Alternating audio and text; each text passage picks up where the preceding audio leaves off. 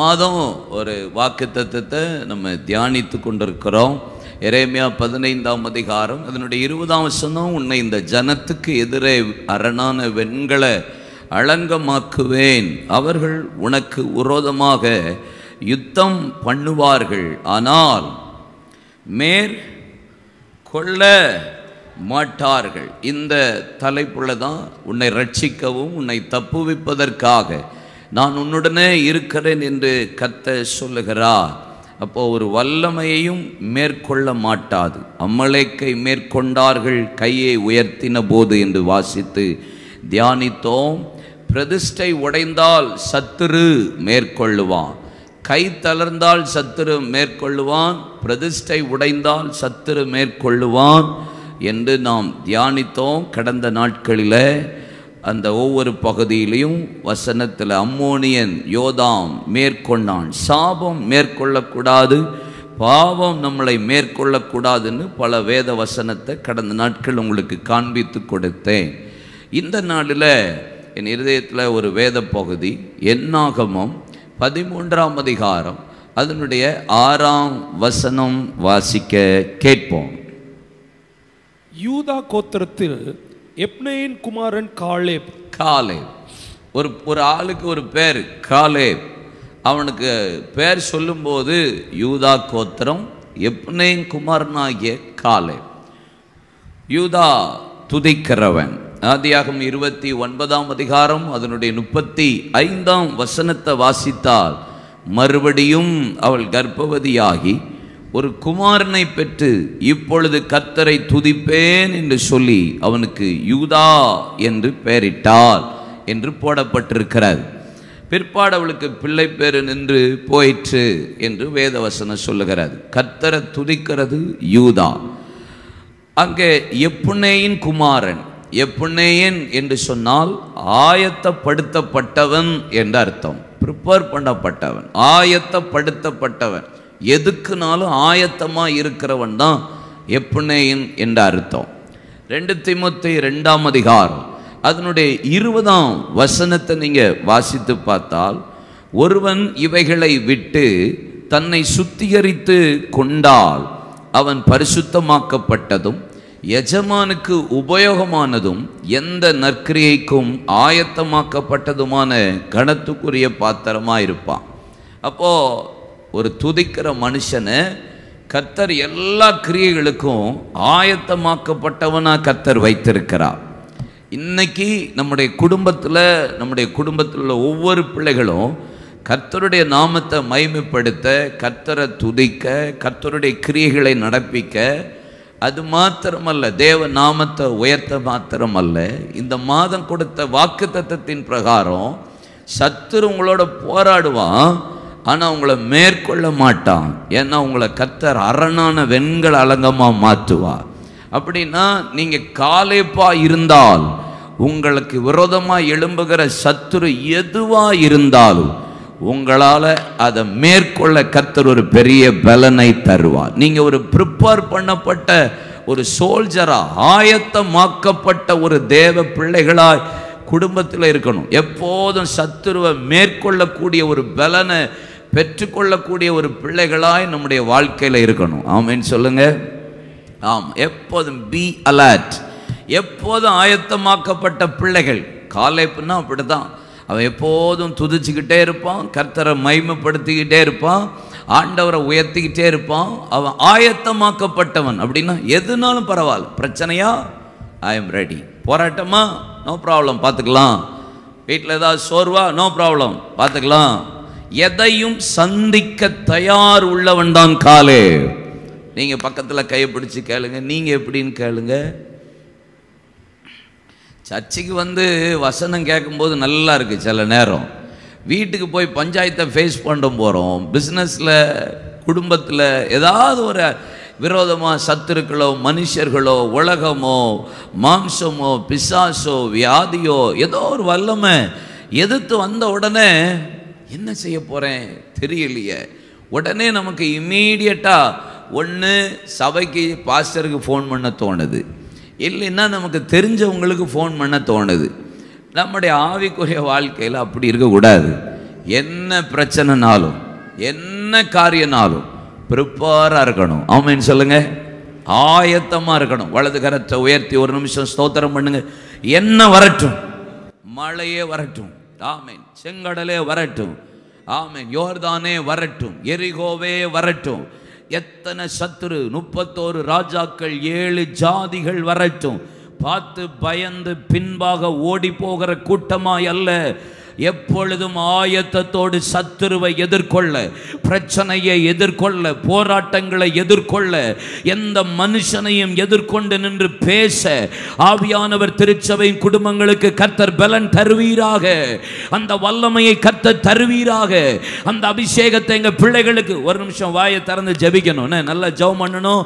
ஆவியானவர் இதை ஜெபத்தை கேட்க விரும்புகிறார் நீங்கள் ஜெபிக்கணும். என் பிள்ளைகள் எதையும் ஃபேஸ் பண்ணக்கூடிய ஆயத்தம்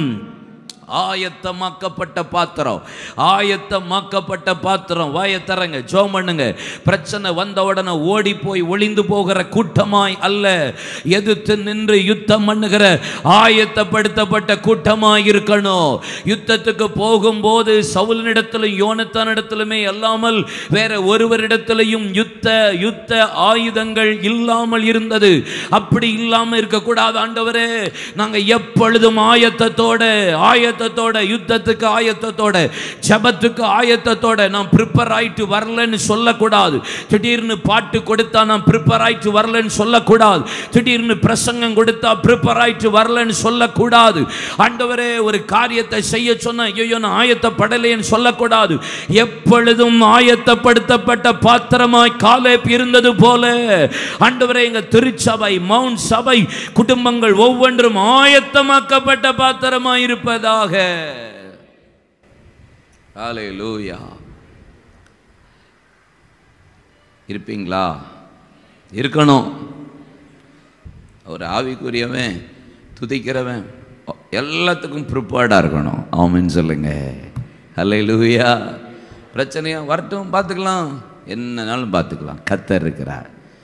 ஆயத்தமாக்கப்பட்டவன். ஆமே சரி காலேப் என்று சொன்னால் திராணி உள்ளவன் என்று அர்த்தம். அவன் பேருக்கே ஒரு ரெண்டு மூணு மீனிங் இருக்குது அதை நான் சொல்லிட்டேன்னா அதுக்கப்புறம் அவனுடைய கேரக்டரை வச்சு நம்ம கொஞ்சம் நேரம் ஒவ்வொரு பாயிண்ட்டாக ஒரு ஒரு ஒரு பாயிண்ட் அப்படி தியானித்து ஜபிக்க போகிறோம் ஆமென் திராணி உள்ளவன். காலேப்னா என்ன அர்த்தம்? திராணி உள்ளவன். ஏசியா தீர்க்க தரிசன புஸ்தகம் இருபத்தி எட்டாம் அதிகாரம். அதனுடைய ரெண்டாம் வசனத்தை வாசிக்க கேட்போம். இதோ திராணியும் வல்லமையும் உடைய ஒருவன் ஆண்டவரிடத்தில் இருக்கிறான். ஆண்டவரிடத்தில் இருக்கிறான்.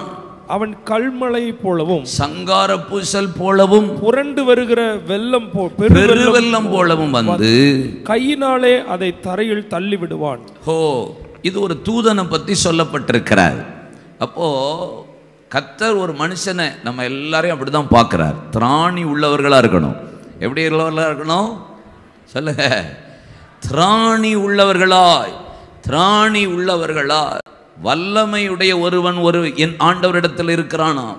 இது ஒரு தூதனை பற்றி சொல்லப்பட்டிருக்கு. அப்போ காலை ஒரு திராணி உள்ளவன்னா அவன் எந்த பிரச்சனையும் புசல் போலவும் புரண்டு வருகிற பெருவெள்ளம் போல வந்து கையினால் அதை தரையில் தள்ளி போடுவான். எந்த பிரச்சனையும் ஃபேஸ் பண்ணக்கூடிய ஒரு பலன் ஆயத்தமாக்கப்பட்டவன் துதிக்கிற ஒரு மனுஷன் திராணி உள்ளவன். ஆம். சிலருக்கு திராணி இருக்காதுன்னு சொல்லுவாங்க. இல்லை என்னால் இது தாங்கவே முடியல பிரதர் அப்படி சொல்லுவோம்ல சில நேரம். இதுக்கு மேலெல்லாம் முடியவே முடியாது. அப்படி உங்களுக்கு ஏசப்பா ஒரு நாள் செய்யவே மாட்டார். பைபிளில் ஒரு அழகான வசனம் இருக்குது மனுஷனுக்கு நேரிடுகிற சோதனையே அல்லாமல் வேற சோதனை உங்களுக்கு நேரிடவில்லை. தேவன் உண்மை உள்ளவராயிருக்கிறார். உங்கள் திராணிக்கு மேலாக நீங்கள் சோதிக்கப்படுகிறதற்கு அவர் இடம் கொடாமல் உங்கள் திராணி அவருக்கு தெரியும். கார்த்திக மாலியலுடைய திராணி தெரியும். சாமுடைய திராணி இவ்வளவுதான்னு தெரியும். அதுக்கு மேலே ஒரு point zero zero one percentage கூட நம்மளை சோதிக்கப்பட அனுமதிக்க விடவே மாட்டா. அவர் இடம் கொடாமல் சோதனையை தாங்கத்தக்க கூடிய சோதனையோடே கூட அதற்கு தப்பித்து கொள்ளும்படி போக்கை உண்டாக்குவா. சில நேரம் நமக்கு பிரச்சனை அதிகமாக வரும்போது போராட்டம் அதிகமாக வரும்போது சில நெருக்கங்கள் தேவைகள் வரும்போது நம்ம வார்த்தை யூஸ் பண்ணுற ஒன்று தாங்கவே முடியல. இல்லை உங்களால் தாங்க முடிகிறனால தான் உங்களை உயிரோட கத்தர் வச்சிருக்கிறாரு. தாங்கவே முடியலைன்னா என்னைக்கும் நம்ம ஜீவன் போயிருக்கோம். தாங்க முடிகிற அளவுக்குன்னா உங்க திராணி தெரியும் கத்தருக்கு. அந்த திராணி அளவுக்கு தக்கதாக தான் கத்தர் உங்களை சோதிப்பார். அந்த சோதனையோடே கூட சோதனையில தப்பித்து செல்ல போக்கை உண்டாக்குகிறவர் தான் நம்முடைய ஆண்டவர். தாங்க முடியாத பிரச்சனையா தருவார் நம்ம அப்பா. ஒரு நாளும் தரமாட்டேன். உங்களுக்கு தாங்க சக்தி எவ்வளோ இருக்குன்னு அவருக்கு தெரியும். அதுக்கு மேலே ஒரு இன்ச்சு. கத்தருக்கு மகிமை உண்டாகட்டும். சரி இந்த காலைப்புக்குள்ள இருந்த பல கேரக்டர் ஒன்று ஒன்றா ஒவ்வொரு ஒரு பாயிண்ட்டு குறித்து வச்சுக்கோங்க. உங்கள் ஆவிக்குரிய வாழ்க்கையில் இதை அபியாசப்படுத்துங்க. நானும் இதை இதை எழுதி எழுதி அப்படி ஜோம் பண்ணி ஜோம் பண்ணி இது என் வாழ்க்கையில் வரட்டும்னு நான் வந்து நிற்கிறேன். பரிசுத்தாவியானவர் உதவி செய்வாராக. என்னாகமும் பதிமூன்றாம் அதிகாரம். அதனுடைய முப்பதாம் வசனம். Numbers chapter thirteen verse thirty அப்பொழுது காலேப் மோசேக்கு முன்பாக ஜனங்களை அமர்த்தி நாம் உடனே போய் அதை சுதந்தரித்துக் கொள்ளுவோம். நாம் அதை எளிதாய் ஜெயித்துக் கொள்ளலாம் என்றான். இஸ்ரவேல் ஜனங்கள் எகிப்தை விட்டு புறப்பட்டதுக்கு அப்புறம் ஆண்டவர் பக்கத்தில் கொண்டு வந்துட்டார். வாக்கு தத்தத்தை சுதந்திரிக்க நெருங்கி வந்தாச்சு. ரொம்ப ஷார்ட் பீரியட் தான். உள்ளே போய் சத்துருவை முறியடிச்சிட்டு சுதந்திரிக்கிற வேலை மட்டும்தான் பாக்கி இருக்கிறது. அப்பொழுது பன்னெண்டு பேரை கோத்தரத்துக்கு தெரிந்து கொண்டு ஒவ்வொருவரையாக அனுப்பி விடுறாங்க. பன்னெண்டு பேர் போய் வேவு பார்த்துட்டு அவங்க சொன்ன வாரியம் எல்லாம் ஆசீர்வாதமாக இருக்குது அங்கே எல்லாம் நல்லா பயங்கரமாக இருக்குது செழிப்பாக இருக்குது அப்படின்னு சொல்லி எல்லாம் சொல்லிட்டு வர்றாங்க. திரும்பி வராங்க. ஹாப்பியாக இருக்குது பெரிய பட்டணம் அரணிப்பான பட்டணம் பெரிய பெரிய ஆசீர்வாதங்களாக இருக்குது அங்கே இருக்கிற எல்லாத்தையும் கொண்டு சாட்சி எடுத்துகிட்டு வந்தாங்க. ஆனால் பத்து பேர் சொன்னாங்க அந்த தேசத்தில் குடியிருக்கிறவர்கள் எல்லாம் பலவான்களாக இருக்கிறார்கள் அங்கே இருக்கிற அரணிப்பானவைகளாக இருக்கிறது மிக மிக பெரியவைகள். அங்கே இருக்கிற ஏனாக்கியர்களின் குமார்கள் எல்லாரும் பெருசாக இருக்காங்கப்பா. இது வந்து சாத்தியமே இல்லை. அங்கே இருக்கிற பெரிய ஜாதிகள் அங்கே இருக்கிற எல்லாமே பெருசு என்னால் முடியாது. அவங்களுக்கு வெட்டிக்கிளியை பார்த்தாலுமே எல்லாம் பெருசாக தான் தெரியுது. ஒரு சின்ன பிரச்சனையே பெரிய பிரச்சனையாக தான் தெரியுது. பத்து பேர் பார்த்து வந்து it is not easy to receive our destiny இதெல்லாம் சுதந்திரிக்கிறதுக்கு சாத்தியம் இல்லைன்னு சொல்லிட்டு பத்து பேர் பட்டணத்துக்குள்ளே நுழைந்து வஸ்திரத்தை கிழித்துட்டு அழுதுட்டு புலம்பிட்டு அவிசுவாசமாய் துர்ச்செய்தியை பரப்பினார்கள் என்று வேதம் சொல்லுகிறார். ஒரு துர்ச்செய்தியா பரப்பிக்கிட்டு இருக்கிறாங்க. அவிசுவாசமே முழு உடலும் முழு சரீரமும் முழு சிந்தனையும் நிறைந்திருக்கிற ஒரு கூட்டம். எப்போ பார்த்தாலும் நெகட்டிவாகவே பேசுகிற குரூப் ஆஃப் பீப்புள் எப்போ பார்த்தாலும் நெகட்டிவாகவே பேசுகிற ஒரு குடும்பம். நம்ம வாழ்க்கையில் அப்படி இருக்கக்கூடாது. அல்ல இல்லையா சொல்லுங்க. சிலருக்கு என்ன பேசினாலும் நெகட்டிவ் தான் வரும். ஏதாவது ஒன்று சொல்லுங்க இல்லை இல்லை இல்லை, அது அப்படி ஆகிடும் ஏன் இப்படின்னா ஏய் தப்பாயிரும். ஏன் இது சரி வராது. ஏன் அது கரெக்டாக ஆகாது. எப்போ எது பேச எடுத்தாலும் இம்மீடியட்டாக நெகட்டிவாகவே தான் ரிஃப்ளெக்ட் பண்ணுற கூட்டங்கள் இருப்பார்கள். நீங்களும் நானும் ஒரு நாளும் அவிசுவாசத்துக்கும் அங்கே எதிர்மறையான காரியத்துக்கு இடமே கொடுக்கக்கூடாது குடும்பத்தில். அல்லையா சொல்லுங்க.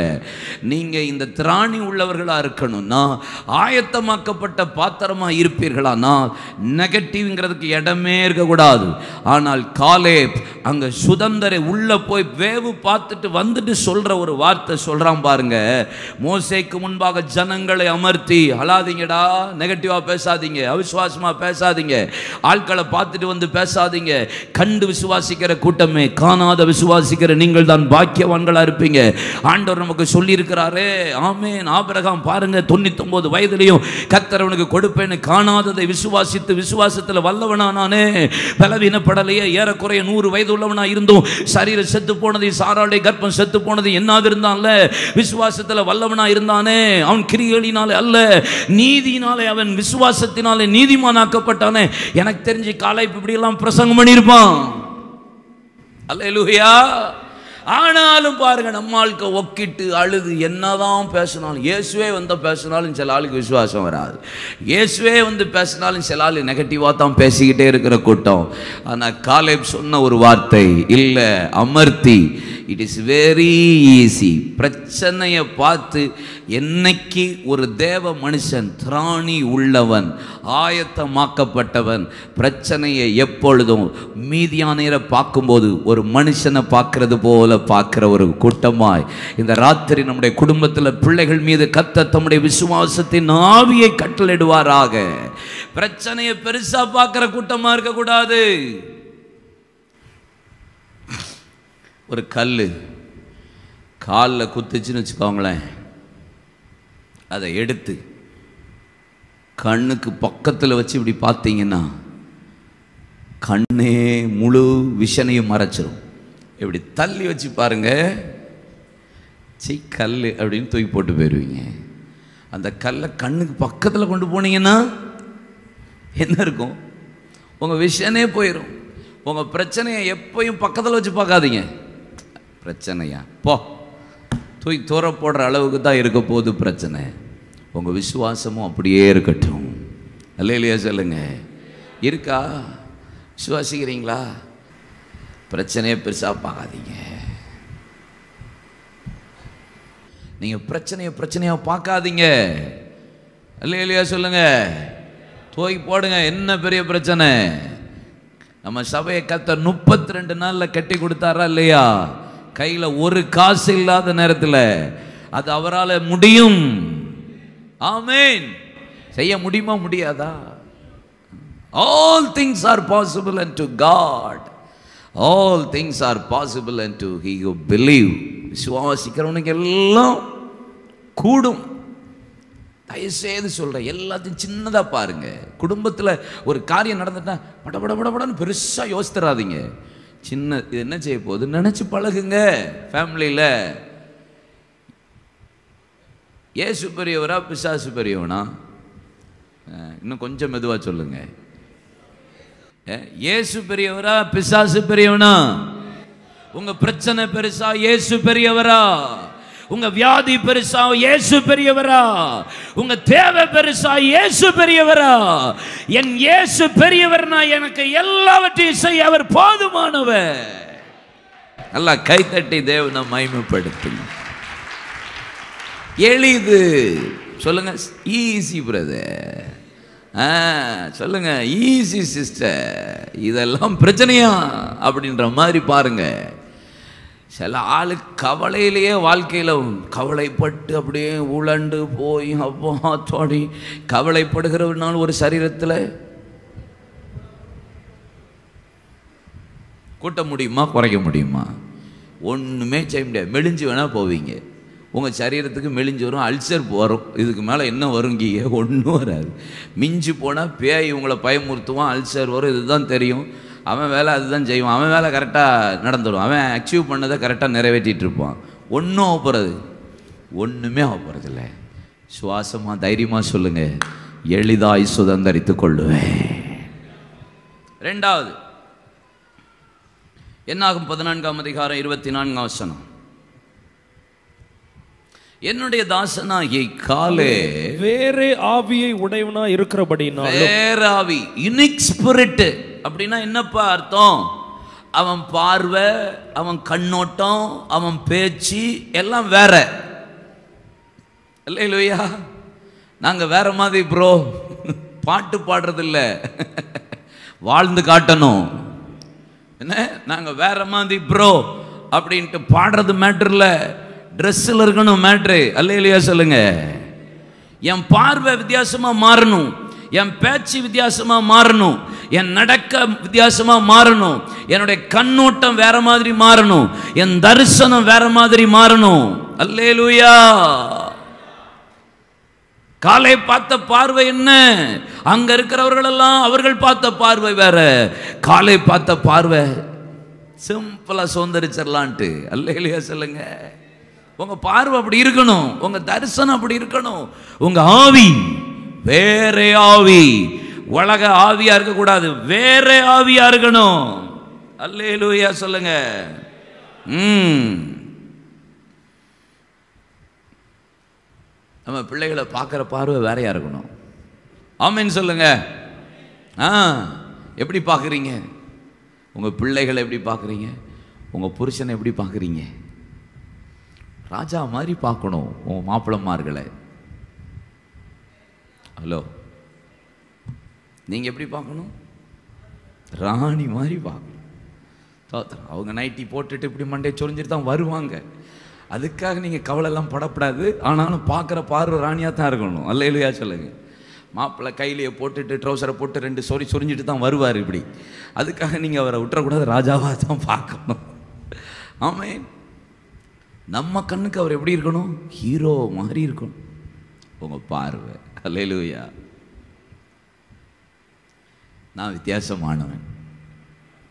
சொல்லுங்க நம்ம வாழ்க்கை வித்தியாசமாக இருக்கணும்ல. வேற ஆவின்னா என்ன ஆவி? ஏதோ பிசாஸ் ஆவியா?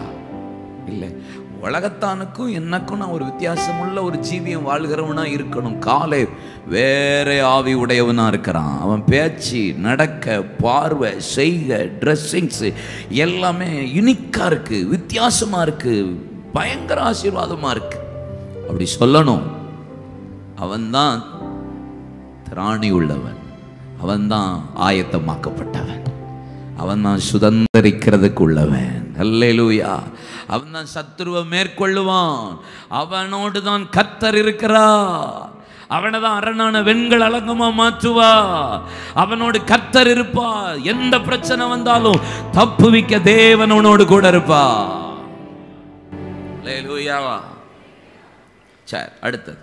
என்னாகமம் பதினான்கு முப்பத்தி எட்டு. ஃபோர்டீன் தேர்ட்டி எயிட் தேசத்தை சுற்றி பார்க்க போன அந்த மனிதரில் நூனின் குமாரனாகிய யோசுவாவும் எப்னையின் குமாரனாகிய காலேப் மாத்திரம் உயிரோடு இருந்தார்கள். சொல்லுங்க உயிரோடு இருந்தார்கள். இந்த வார்த்தை எனக்கு ரொம்ப பிடிச்சிருந்துச்சு. காலே உயிரோடு இருந்தவன். சொல்லுங்க. உயிரோடு இருந்தவன் அவன ஜீவன் உள்ளவன் அர்த்தம். சொல்லுங்க. நம்ம வாழ்க்கையில் ஒரு ஜீவன் இருக்கணும். என்ன இருக்கணும்? சங்கீதம் நூற்றி பதினெட்டு பதினேழு பாருங்க. நான் சாவாமல் பிழைத்திருந்து கர்த்தருடைய செய்கையை அறிவிப்பேன். ஆவிக்குரிய வாழ்க்கையில் ஒரு வளர்ச்சி ஆவிக்குரிய வாழ்க்கையில் ஒரு ஜீவன் ஆவிக்குரிய வாழ்க்கை செத்த வாழ்க்கையாக இருக்கக்கூடாது. நம்ம வாழ்க்கை செத்த ஜீவியமாக இருக்கக்கூடாது. ஆலையிலையா சொல்லுங்கள் ஆவிக்குரிய ஜபம் செத்ததாக இருக்கக்கூடாது. பிரசங்கம் செத்த பிரசங்கமாக இருக்கக்கூடாது. ஆராதனை செத்த ஆராதனையாக இருக்கக்கூடாது. ஒரு ஆள் ஜோம் பண்ண சொன்னான் தோத்திரம் தோத்திரம்னு தோத்திரம் ஜெபம் ஜெபம் பண்ணும்போது அதில் ஒரு ஜீவன் இருக்கணும். பாட்டு பாடும்போது ஒரு ஜீவன் இருக்கணும். ஆராதிக்கும் போது ஒரு ஜீவன் இருக்கணும். பிரசங்கம் பண்ணும்போது ஒரு ஜீவன் இருக்கணும். உயிர் இருக்கணும் அதில். அல்லே லூயா எதுக்கு? நான் கர்த்தருடைய செய்கைகளை விவரிக்கிறதற்கு. சங்கீத நூற்றி பத்தொம்போது எழுபத்தி ஏழை பாருங்க. நான் பிழைத்திருக்கும்படிக்கு உமது இரக்கம் எனக்கு கிடைப்பதாக. இந்த ஜீவன் கர்த்தருடைய இரக்கத்தினால தான் தேவன் நமக்கு தருகிறவ சங்கீத நூற்றி பத்தொம்போது பதினாறை பாருங்க. நான் பிழைத்திருக்கும்படி உமது வார்த்தையின்படி என்னை ஆதரித்தருளும். இந்த ஜீவன் எதில் இருக்கு? வசனத்தில் இருக்கு. நீதிமொழிகள் ஒன்பது ஆறை வாசித்து பாருங்களேன். வேதமே விட்டு விலகுங்கள் அப்பொழுது பிழைத்திருப்பீர்கள். எப்போ? எப்போ? வேதமையை விட்டு விலகுனா நீங்க பிழைப்பீர்கள் என்று சொல்லப்பட்டிருக்கிறது. லூக்கா இருபது முப்பத்தி எட்டை வாசித்து பாருங்கள். அவர் மறித்தோரின் தேவனாயிராமல் ஜீவனுள்ளோரின் தேவனாயிருக்கிறார். எல்லாரும் அவருக்குள்ளே பிழைத்திருக்கிறார்களே. நம் ஆண்டவர் செத்த தெய்வம் அல்ல. உயிருள்ள ஆண்டவரை நீங்களும் நானும் ஆராதித்துக் கொண்டிருக்கிறோம். இன்றும் உயிரோடு இருக்கிற தெய்வத்தை நாம் ஆராதித்துக் கொண்டிருக்கிறோம். ரெண்டு குழந்தையர் ஐந்தாம் அதிகாரம் பதினைந்தாம் வசனத்தை வாசித்து பாருங்கள். பிழைத்திருக்கிறவர்கள் இனி தங்களுக்கு என்று பிழைத்திராமல் தங்களுக்காக மறித்த எழுந்திருக்கிறவர் என்று பிழைத்திருக்கிறபடி அவர் எல்லாருக்காக மறித்தார் என்று நிதானிக்கிறோமே. இனி நம்ம பிழைச்சிருக்கிறதெல்லாம் எதுக்கு தெரியுமா? அவருக்காக கத்த நம்மளை உயிரோடு வச்சிருக்கிறா எதுக்கு எனக்கு ஜீவன் கொடுத்தார்? அவருக்காக உயிரோடு வச்சிருக்கிறார். அவர் வார்த்தையை சொல்ல அவருடைய வசனத்தை பேச அவருடைய வாழ்க்கையை பேச ஊழியம் செய்ய சுவிசேஷம் சொல்ல. ரெண்டு குழந்தையர் பதிமூன்று நாளை பாருங்க. அவர் பலவீனத்தினால் சிலுவையில் அறப்பட்டிருந்தும் தேவனுடைய வல்லமையினால் பிழைத்திருக்கிறார். அப்படி நாங்களும் அவருக்குள் பலவீனராயிருந்தும் உங்களிடமாய் விளங்கிய தேவனுடைய வல்லமையினாலே அவருடன் கூட பிழைத்திருப்போம். கலாத்தியர் ரெண்டு இருபது சொல்லுகிறது கிறிஸ்துவனுடனே அறையப்பட்டேன் சிலுவையில். ஆயினும் மாம்சத்தில் பிழைத்திருக்கிறதோ? என்னில் அன்பு கூர்ந்து எனக்காக தம்மை தாமே ஒப்பு கொடுத்த தேவனுடைய குமாரனை பற்றும் விசுவாசத்தினாலே பிழைத்திருக்கிறேன். எதனால பிழைச்சிருக்கிறேன்னா? கலாத்தியர் ஐந்து இருபத்தஞ்ச பாருங்க. ஆவியினாலே பிழைத்திருந்தால் ஆவிக்கேற்றபடியும் நடப்போம். எனக்கு ஜீவனை கத்தர் எதுக்கு தாராரு? நான் உயிரோடு இருக்கிறேன்னா பிழைத்திருக்கிறதுக்கு எதுக்கு?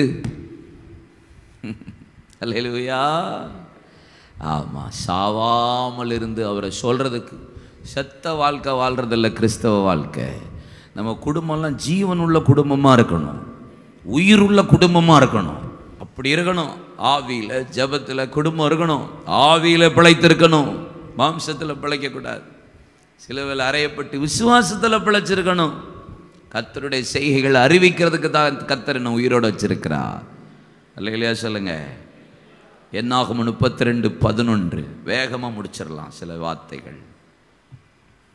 உத்தமமா என்னை பின்பற்றின.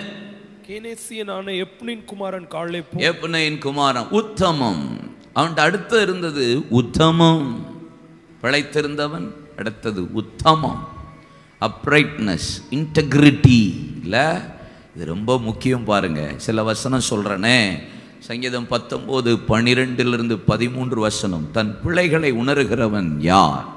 மறைவான குற்றங்களுக்கு என்னை நீங்களாக்கும். துணிகரமான பாவங்களுக்கு உமது அடியனை விளக்கி காத்தருளும். அவைகள் என்னை ஆண்டு கொள்ள ஒட்டாதிரும். அப்பொழுது நான் உத்தமனாவேன். பெரும் பாதகத்துக்கு நீங்களாகுவேன். சின்ன தவறு தான் பெரிய பாவத்தில் கொண்டு போய் விட்டுரும். சின்னது தான் பெருசில் கொண்டு போய் விட்டுரும். அதனால் இந்த பாருங்கள் ஒன்று ஒன்றா பாருங்கள் பிழைகள் மறைவான குற்றங்கள் துணிகரமான பாவங்கள் இதெல்லாம் என்னை ஆண்டு கொள்ள விட்டுறாதீங்க ஆண்டவரே. அப்பொழுது தான் நான் உத்தமன் ஆவேன். சின்ன பிழை வரும்போதே நீங்கள் கரெக்ட் பண்ணிடணும். இல்லைன்னா அது பெரும் பாதகத்தில் கொண்டு விட்டுரும். சின்ன இச்சை. தாவித கொலகாரனை கொண்டு போய் விட்டுருச்சு. கடைசியில். ஒரு சின்ன விஷயந்தான் திம்னாத்துக்கு போனால் பிரதிஷ்டையே போயிருச்சு சிம்சோனுக்கு. சின்னது தான் பாருங்கள் பல பேருடைய லைஃப்பை மோசமாக்கி இருக்கும் பெரும் பாதகம். ஸோ சின்ன பிழை வரும்போது அதை தவறு வரும்போது கரெக்ட் பண்ணுங்க. துணிகரமான பாவத்துக்கு மறைவான குற்றத்துக்கெல்லாம் ரொம்ப கவனமாக இருங்க. அப்போ தான் நம்மளை உத்தமனாக்கும். பெரும்பாதகத்துக்கு கத்து தப்புவிக்க பண்ணுவா சங்கீதம் நூற்றி ஒன்று இரண்ட பாருங்க உத்தமமான வழியில் விவேகமாய் நடப்பேன். எப்பொழுது என்னிடத்தில் வருவீர் என்று வீண் வீட்டில் உத்தம இருதயத்தோடு நடந்து கொள்வேன் வருகைக்கு இம்பார்ட்டன்ஸ் எது தெரியுமா? உத்தமம்மா. எப்பொழுது வருவீர் என்று உங்களுடைய வீட்டிலேயே உத்தம இருதயத்தோடு நடந்து கொள்வேன். என் சபையில் உன் வீட்டில் எப்போ வருவீங்க? ஆண்டவரே எப்போ நீங்கள் என்னை சந்திக்க போகிறீங்க அது என் பதினேழு ஒன்று வயசு டிஃப்ரெண்ட் இல்லை. தொண்ணூத்தொம்போது வயசுலேயும் ஆண்டவர் தரிசனமாகி ஒழுங்காயிருன்னு சொல்கிறாரு அது உத்தமனாயிருன்றார் ஆபிரகாம் பார்த்து. சின்ன வயசால் பாட்டு மட்டும் நான் உத்தமமாருன்னு சொல்லுவாருன்னு இல்லை. விசுவாச தகப்பன் சிநேகிதனாயிருந்த ஆபிரகாமுக்கே தரிசனமாகி நீ ஒழுங்காருன்றார் உத்தமனாயிருன்னு வயசு டசன்ட் மேட்டர் உன்னத பாட்டு ஒன்று நான்கை பாருங்க. கடைசி பகுதி இருக்கு. உத்தமர்களுமை நேசிக்கிறார்களா? யார் நேசிப்பா? ஆண்டவர் என்னால் நேசிக்க முடியல.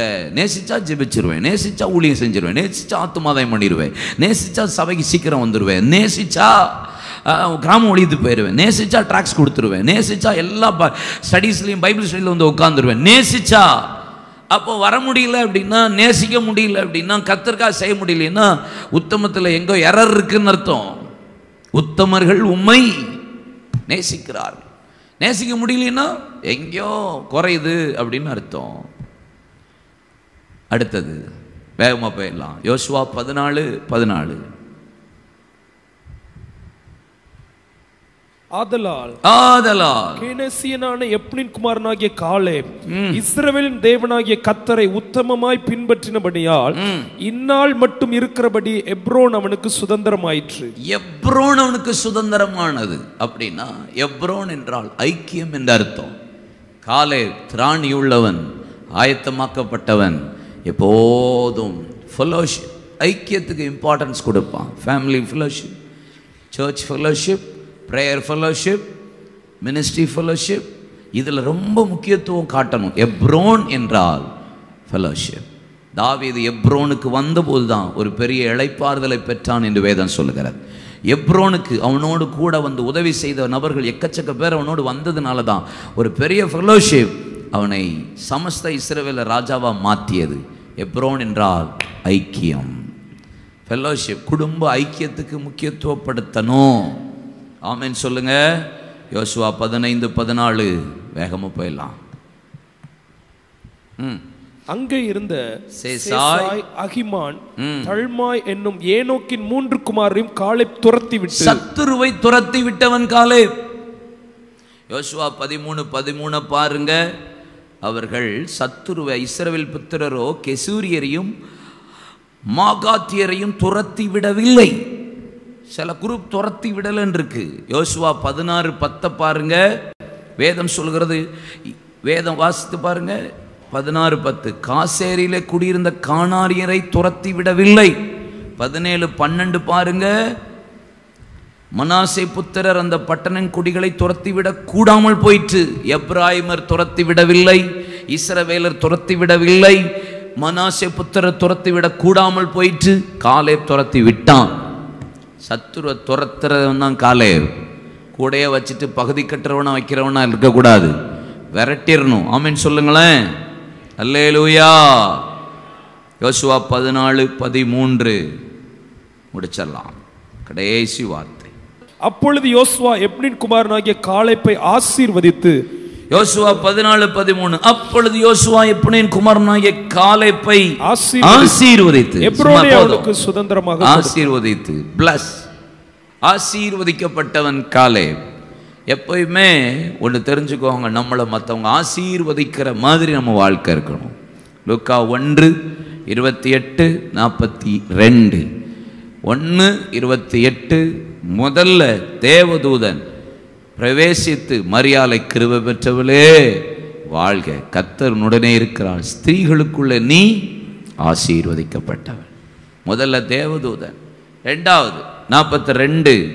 இப்போ எலிசபெத் உரத்த சத்தமாய் ஸ்திரீகளுக்குள்ளே நீ ஆசீர்வதிக்கப்பட்டவள். உன் கர்ப்பத்தின் கனியும் ஆசீர்வதிக்கப்பட்டது. லேவேரா ஒன்பது இருபத்தி மூன்று. ஆரோனும் அங்கே மோசையும் கூடாரத்தை விட்டு வெளியே வந்து ஜனங்களை ஆசீர்வதித்தான். சாலமோன் அங்கே ஆலயத்தை பிரதிஷ்டை பண்ணி முழு இஸ்ரவேல் ஜனங்களையும் ஆசீர்வதித்தான். தாவீது தன்னுடைய குடும்பத்தில் உள்ள எல்லா பிள்ளைகளையும் ஆசீர்வதித்தான் என்று வேதம் சொல்லுகிறார். ஸோ நம்ம வந்து ஆசீர்வாதத்துக்குரியவர்களாக இருக்கணும். நம்மளை பார்த்து யாரும் சாபம் போடுற அளவுக்கு நம்முடைய வாழ்க்கை இருக்கக்கூடாது. நம்மளை மற்றவங்க ஆசீர்வதிக்கிற மாதிரி ஜீவியாக இருக்கணும்.